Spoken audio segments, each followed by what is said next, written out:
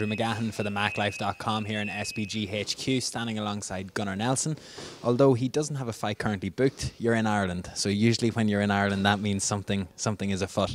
First of all, you've got a squad of kids here.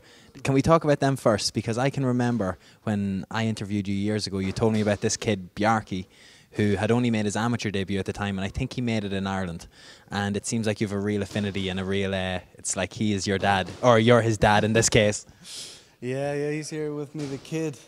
Uh, he's really good. Uh, he's uh, had his first pro fight now, and he won. And he's always training, and I look forward to seeing into his near future. You know. Is it a little bit surreal for you as someone who went on his own martial arts journey and effectively led by example in Reykjavik and in Iceland and in Mjölnir to see these guys now progressing through the amateur and professional ranks and doing as well as they're doing? Yeah, it's it's so great to see all these guys because, I mean, MMA is so young in Iceland, and uh, like you said, I'm I'm kind of the first to take like the big step. Although Árni Isaksson was kind of the first pro, um, but then from there, a lot of the guys are coming up now, and, and we'll see like in the near future a lot of good guys coming up from from Iceland, and obviously these are are some of the top guys now, you know, and it's it's exciting times. It's very different from when I started. Now I actually have like training partners and uh, and there's some life in MMA back home, you know. So it's not a rite of passage that if you're a young Icelandic fighter, you need to come to SBG Ireland and train under John Kavanagh. They're not being put through some ritual here, are they? No, they, they well they love to come here, and we're always gonna bring guys here, and it's always beneficial to come here and train abroad, you know. So there's always been such a strong connection uh, between the, the gyms that that's I mean I, I look at it as the same gym really. We've been a team since I was 17, so I, that's not going to change. You have taken a good bit of time off since your last loss, your first knockout loss in mixed martial arts. Um, I know that you've talked so much about the eye pokes in relation, but the one thing that I want to ask you about that is do you hope that what happened to you in that fight could maybe be the start of a change that we could see in the rules of mixed martial arts? Because I'm understood that if you get poked in the eye, you don't get a five minute break. If you get hitting the groin, you get a five minute break. But you weren't able to signal to the referee at any point to say that there could have been something up with your vision because that's not a foul that the sport could be stopped in. Do you see a change being made to the rules that would be beneficial for uh, situations like that in the future? Yeah, they definitely need to, to find something, sort something out there, because this is like, if you like the way I got poked, when you see like you're seeing double and your depth perception, you, you're your distance judging and everything is out the window. I think definitely you need you need time until your eyes recovering. Uh, I remember the last thing that the referee said to me before I walked out was like, "You never stop your hand, or I'll, I'll keep an eye on any fouls, and I'll, I'll be the one stopping the fight." It needs to so like. They, you need the referees definitely need to be on top of this, and uh, this case was was a bad one, and I hope it's it will be an example for, for future cases and, and that people don't are not going to be in, in my situation, you know. You seem to be very much an advocate of there's no point in wasting ener- energy on something if it's already happened. Yeah. Simply move forward and get over it. What did you do in that time to move forward and to get over it? Have you just been enjoying your training, focusing on building the new gym? What has been up with Gunnar Nelson since then? Yeah, just just same as always. Just went back home, you know, and obviously you, you need to take some time off, uh, hard training, but always training, and, and, I've been training for a long time now, and uh, focusing on focusing on what's to come, and, and focusing on crafting skills, and you know, and the new gym, of course, the the team and everything, you know, my family. It's just shit carries on, and I'm not really thinking about this. It seemed like we were going to see Gunnar Nelson announced for a return to action sooner rather than later. Uh, you were campaigning for a spot on UFC London. The UFC even offered you the fight versus Darren Till. For you, who is a guy who's fought so many of his fights in Europe, was it frustrating for that fight to fall through, regardless of the location or the opponent, but surely to right the wrong of last summer, you wanted to get in there quickly? Yeah, you know, it would have been a great, great night, you know, and uh, I, I, I thought it was going to happen, but then it didn't happen. And, and again, that's just water under the bridge, whatever. It's, it's done now.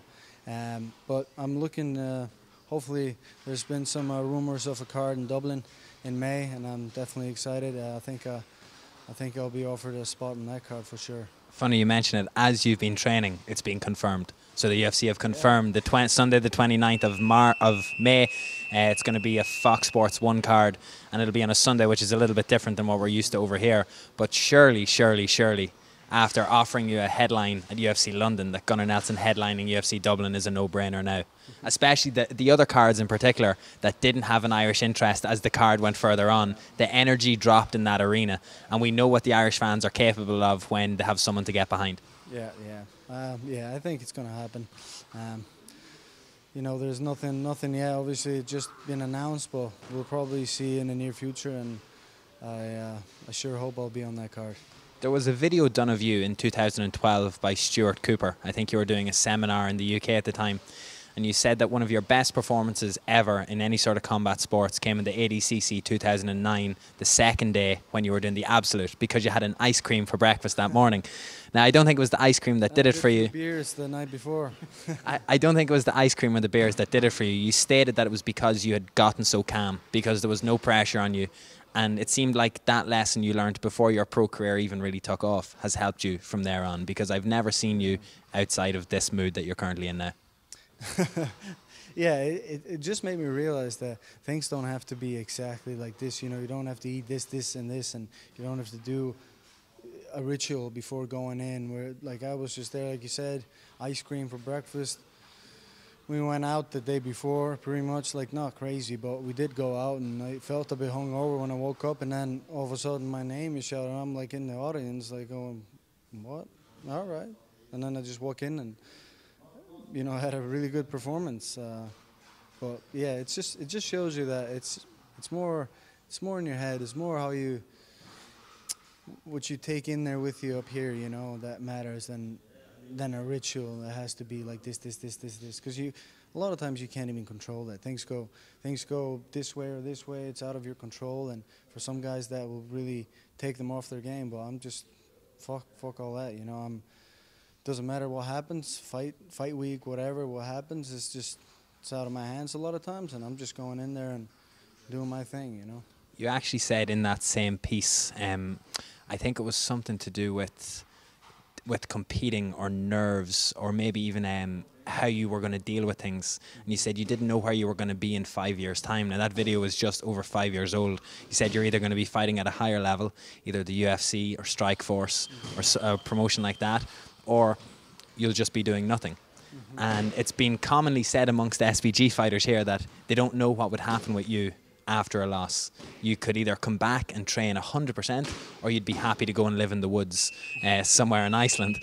But did that come, come into your head at all after the last loss? You know, was there a t- t- time that thought like, let's just enjoy training, we don't have to go through that again, or was it fairly shortly afterwards you're like, I need to get that back, I need to get back into the win column?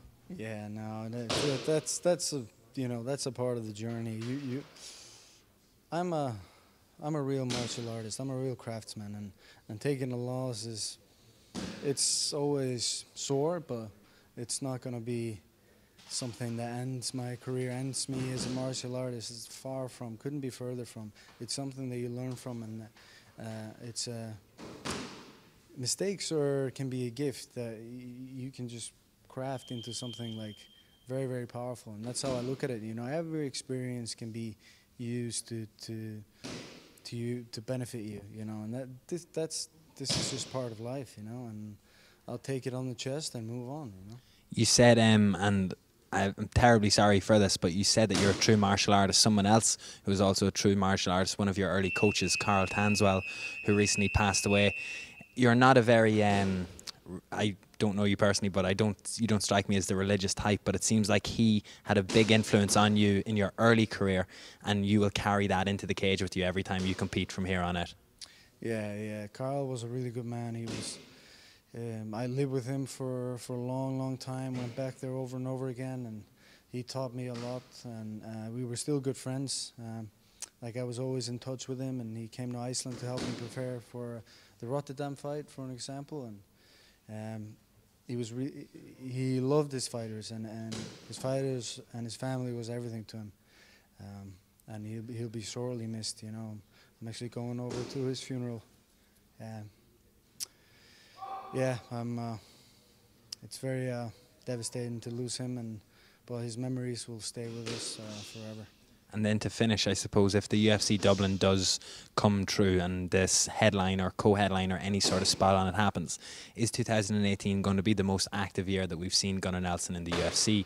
Or what are your long term goals even for that division? Because welterweight at the moment seems like it's primed and ready for somebody, maybe even yourself, to re announce themselves and get back into the top 10, top 5 title shot. Yeah, for sure. It's, uh, well, right now, looking at that Dublin card, that's what I'm aiming for. Keep training, and then we move on from there. From there, and but yeah, I'm, I'm, I'm not slowing down, not one bit. Gunnar, thank you very much. Cheers.